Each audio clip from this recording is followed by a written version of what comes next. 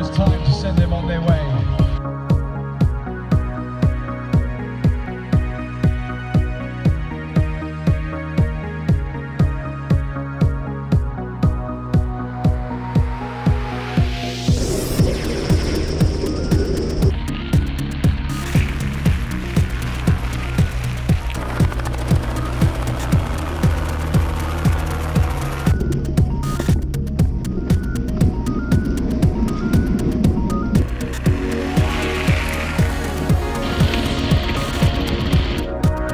Today uh, the biggest goal was to make sure we get the top 10 kilometers finish. an hour for their Uh, final glad we got that. Some of the guys were really motivated. Amazing.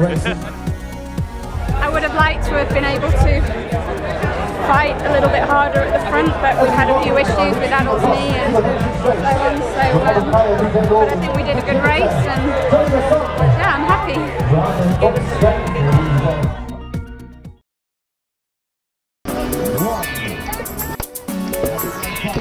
Fire to the start of the.